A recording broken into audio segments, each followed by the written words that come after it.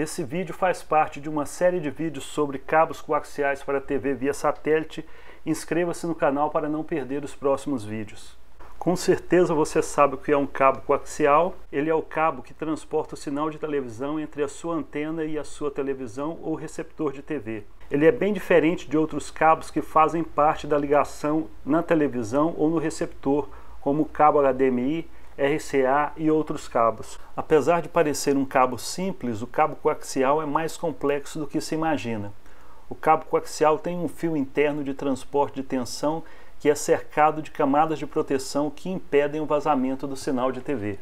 O condutor central faz a conexão direta entre a antena e o receptor de TV e precisa ser de um material de alta qualidade, pois ele tem que garantir a integridade de uma grande quantidade de informação simultânea recebida pela antena. Ele é muito sensível a interferências externas, pois lida com sinal trafegando entre 2 MHz e 3 MHz, o que é uma quantidade estupenda de informação se comparado, por exemplo, a um cabo de áudio que lida com sinais de apenas 2 Hz. A primeira camada de proteção do condutor central é o dielétrico. É ele quem dita a distância entre o fio central e as camadas exteriores do cabo, além de fornecer o primeiro isolamento do cabo contra interferências de sinal. A próxima camada é a malha de blindagem e pode ser formada por mais de um componente é a malha de blindagem que protege o fio central contra interferências elétricas e interferências de outros sinais de rádio. Desta forma, ela mantém estável o sinal captado pela antena. Finalmente, nós temos a capa de proteção. Ela pode ser feita de borracha ou plástico flexível.